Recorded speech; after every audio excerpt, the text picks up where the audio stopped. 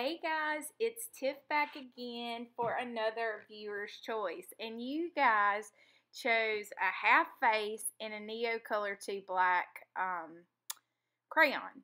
And so what I've done here is I took the half face um, that was color and now I'm going to take this black and white image that I printed on my laser inkjet and kind of enlarged it so that the face would be very similar in size. Now that was just a choice that I made. I think it would also look very cool if you use two half of a face, two halves of a face and it be um, random sizes. So that was just a choice that I made.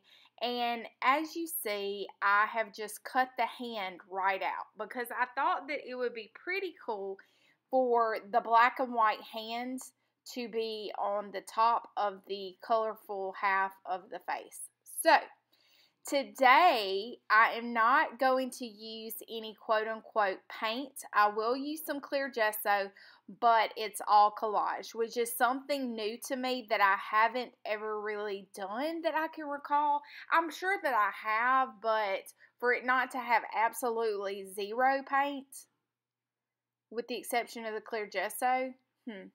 I don't recall ever doing that. So, um, and some of you guys had said that y'all would like to see um, me do pages where it's not so much about painting but more about collage. So I am here just to make you guys dreams come true.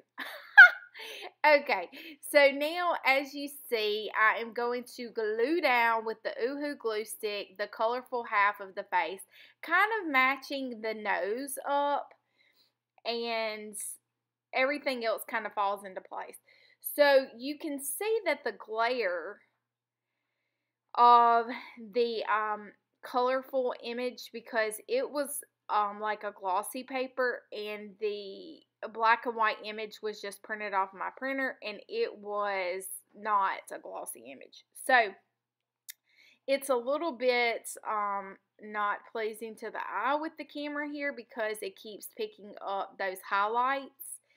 And I'm going to do something in a minute after I make sure everything is glued down. I'm going to put clear gesso over it and it's going to kind of help it um, be the same matte um, kind of color. And this journal here is a handmade journal. You guys always ask every time that I use it, and you'll find a class coming soon. And the construction of this is kind of um, similar to what I'll be teaching. Now, Susie LaFon has the sweetest little cool um, business cards that she sent in the journal that I've showed you guys before. If you haven't checked out her journal, you need to go and check out the journal that I got. I did a flip through of it. I'll try to link it up in the iCards or either at the bottom.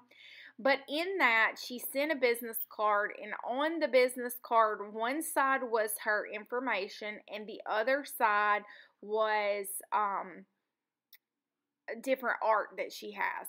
And so the words that were on there, I thought, hmm, I bet this would be very interesting to add true, messy, and vulnerable to a page at some point. Well, today happens to be the day. It was sitting right beside me.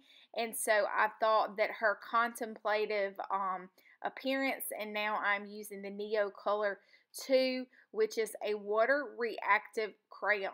These are super portable and those are super neat to use. And all I'm doing is kind of adding where the um, page had a little bit of a white border from one page to the other. I'm just kind of making that look a little more seamless with the Neocolor 2. And then because I use the clear gesso, it is allowing me to go over this image and create some sh shadows and um, contours. You can still see a little bit of the brightness um, from the gloss page. And here I'm just pulling that hair strands that she had on the black and white over to the color um, side of the picture.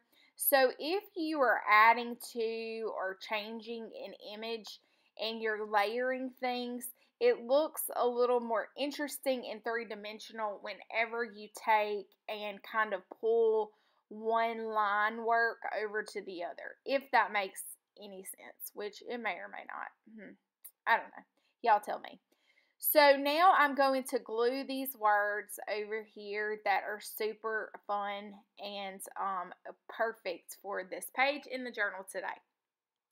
And guys, that's pretty much going to be a wrap. I am going to add um, a little white China marker.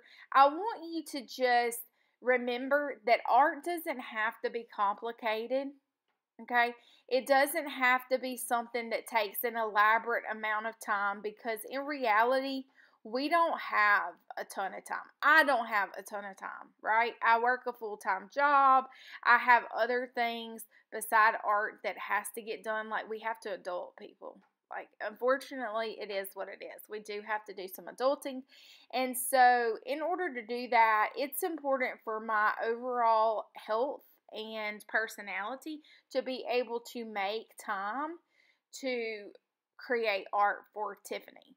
And so by doing so, I get to share it with all of you guys. But it this page is just to show you that you can come out with something really fun to put in your journal without spending a ton of time. Again, this was a black and white color. I mean, a black and white copy that was not this girl's face, okay? I just pieced and parted it together.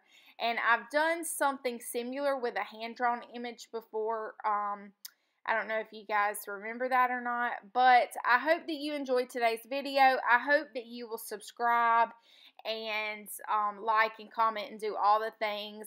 And until next time, guys, toodaloo!